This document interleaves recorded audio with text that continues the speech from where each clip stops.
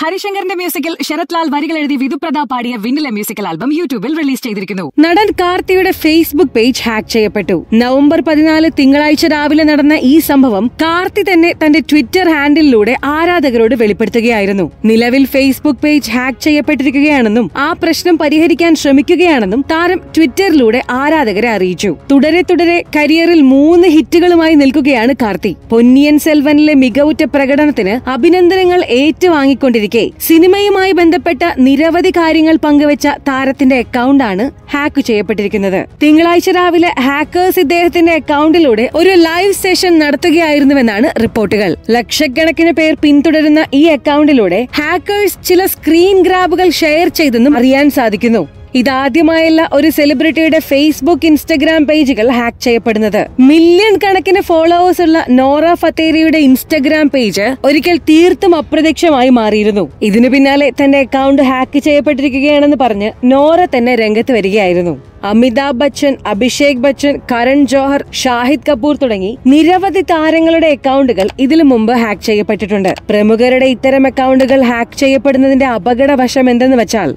അതിലൂടെ ഹാക്കേഴ്സിന് അനാവശ്യമായ മെയിലുകൾ അയക്കാൻ പറ്റുമെന്നതും തെറ്റായ പ്രൊഫൈൽ ഇൻഫർമേഷൻ നൽകാനും ആ പ്രൊഫൈലുകൾ ഇല്ലീഗലായ കാര്യങ്ങൾക്കും സ്വാർത്ഥ ലക്ഷ്യങ്ങൾക്കും വേണ്ടി ഉപയോഗിക്കാനാകുമെന്നതുമാണ്. നിരവധി ആരാധകർ പിന്തുടരുന്ന ഈ അക്കൗണ്ടിലൂടെ നൽകുന്ന തെറ്റായ സന്ദേശങ്ങൾ ആരാധകരെ തെറ്റായ ദിശയിൽ നയിക്കാനും കാരണമായേക്കും. രണ്ട് തോടുകൾക്ക് നടുവിൽ ഒരു ചെറുതുരുത്തിലകപ്പെട്ട പോലെ ഒരു വീട്. ഇവിടെയാണ് എഴുപത്തിയഞ്ചുകാരനായ തങ്കപ്പനും എഴുപതുകാരിയായ ഓമനയും അതിസാഹസികമായി ജീവിക്കുന്നത്.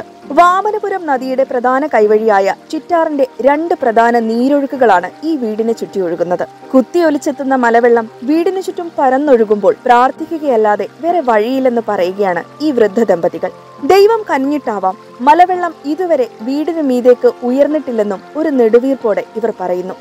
ഇതുപോലെ ഉരുൾ പൊട്ടി ഇറങ്ങിയ സമയത്ത് മൂന്ന് കഷ്ണം താണ്ടി ഞങ്ങളുടെ വീടിന്റെ ചുവരിൽ വന്ന് ഇടിക്കുകയും രണ്ട് കഷ്ണം ഒഴുകി പോകും ഒരു കഷ്ണം ഇതാ നടയിൽ തന്നെ കിടപ്പുണ്ട്. വില്ലേജ് ഓഫീസർ അതിന്റെ മേലെ ഉദ്യോഗസ്ഥരൊക്കെ വന്ന് ഞങ്ങളെ സ്കൂളിലാണ് ഞങ്ങളെ കൊണ്ട് അഭയം പ്രാപിച്ചത് അപ്പം ഞങ്ങൾക്ക് ഈ മഴ ആകുമ്പോൾ ഞങ്ങൾക്ക് ഭയങ്കര ഭീഷണി ഞങ്ങൾക്ക് ബുദ്ധിമുട്ടും പേടിയാണ്.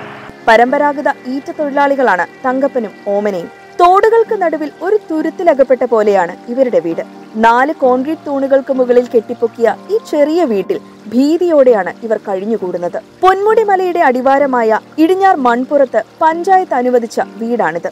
ഇടിഞ്ഞാറാറും ഇതിന്റെ ഭാഗമായ വിട്ടിക്കാവ് കൈത്തോടും വേനലിൽ വറ്റി വരളുന്ന തോടുകളാണ്. ഇത് മഴക്കാലത്ത് നിറഞ്ഞൊഴുകും. ആയിരത്തി തൊള്ളായിരത്തി തൊണ്ണൂറ്റി രണ്ടിൽ മലയടിവാരങ്ങളിൽ ഉരുൾപൊട്ടിയതിനെ തുടർന്ന് ഇടിഞ്ഞാറാറ് കരകവിഞ്ഞ് തീരത്ത് താമസിച്ചിരുന്ന അൻപതോളം ഈറ്റത്തൊഴിലാളി കുടുംബങ്ങളുടെ വീടുകൾ ഒലിച്ചുപോയിരുന്നു. സർക്കാരും പഞ്ചായത്തും ചേർന്ന് ആ കുടുംബങ്ങളെ അന്ന് മറ്റിടങ്ങളിലേക്ക് മാറ്റി പാർപ്പിച്ചു ആറിന്റെ തീരത്തോട് ചേർന്ന് ഒരു സ്വകാര്യ വ്യക്തിയിൽ നിന്ന് വാങ്ങിയ സ്ഥലത്താണ് ജനകീയാസൂത്രണ പദ്ധതി പ്രകാരം തങ്കപ്പന് പഞ്ചായത്ത് വീട് വെച്ച് നൽകിയത്. ആറ്റിലെ നീരൊഴുക്ക് വീട്ടുമുറ്റത്തേക്ക് കടക്കാതെ തടയാൻ വീടിനു ചുറ്റും ഒരു സുരക്ഷാ ഭിത്തി നിർമ്മിക്കണമെന്ന് അന്നു മുതൽക്കേ നാട്ടുകാർ ആവശ്യപ്പെട്ടു വരുന്നതാണ്. തിരുവനന്തപുരം ജില്ലാ പഞ്ചായത്ത് രണ്ടായിരത്തി പത്ത് പതിനൊന്ന് വർഷത്തെ ജനകീയാസൂത്രണ പദ്ധതിയിൽ ഉൾപ്പെടുത്തി തങ്കപ്പന്റെ വീടിനോട് ചേർന്ന് ആറിന് കുറുകെയായി ഒരു പാലം നിർമ്മിച്ചിരുന്നു. ഇതിന്റെ ഭാഗമായി വീടിന് സുരക്ഷാ ഭിത്തി പണിയുമെന്ന് വാഗ്ദാനം നൽകിയിരുന്നെങ്കിലും ബന്ധപ്പെട്ടവർ അത് മറന്ന മട്ടാണെന്നും ഇവർ പറയുന്നു. അടുത്തിടെ ഇടിഞ്ഞാറിന് സമീപം മങ്കേമാറ്റിൽ കുളിച്ചുകൊണ്ട് നിൽക്കെ പെട്ടെന്നുണ്ടായ മലവെള്ളപ്പാച്ചിലിൽ മൂന്ന് പേർ ഒഴുക്കിൽപ്പെട്ട് മരിച്ചിരുന്നു.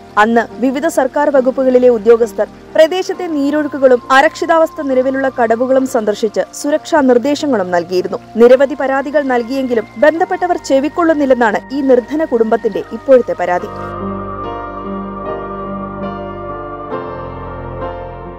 ഹരിശങ്കറിന്റെ മ്യൂസിക്കിൽ ശരത്ലാൽ വരികൾ എഴുതി വിധുപ്രത പാടിയ വിന്നില മ്യൂസിക്കൽ ആൽബം യൂട്യൂബിൽ റിലീസ് ചെയ്തിരിക്കുന്നു.